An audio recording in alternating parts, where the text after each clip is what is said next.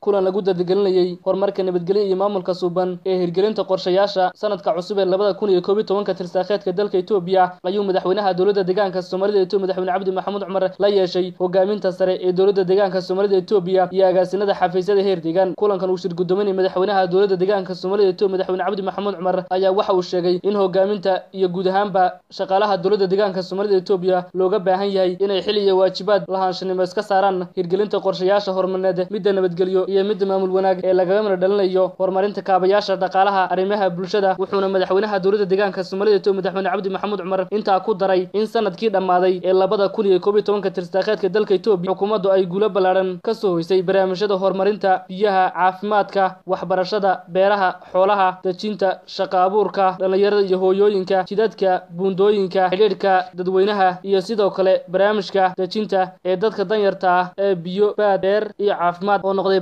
barnaamij taabagalay uu deegaanka hormuud ugu noqday dowlad deegaanada ka jira dalka etoobiya madaxweynaha dowladda deegaanka soomaalida etoobiya madaxweyne cabdi maxamuud cumar oo hadalkiisi sii wataa ayaa sidoo kale caddeeyey in mar walba laba jibaar lagu samayn doono ficila lagu muujin doono adeeg bixinta bulshada iyo kaabayaasha dhaqaalaha ee udhexaadka u noqday tabaha lagaga guulaysanayo xayndaabka sobolnimada ugu dambayntiina hogaaminta sare ee dowladda deegaanka soomaalida etoobiya agaasinada xafiisyada heer deegaan ayaa ballan qaaday inay ka soo baxayaan waajibaadka ka saaran bulshada ayna siinayaan adeeg hufan oo taydiisu sarrayso cabdiraxmaan buux t v-ga star caasimadda deegaanka jijiga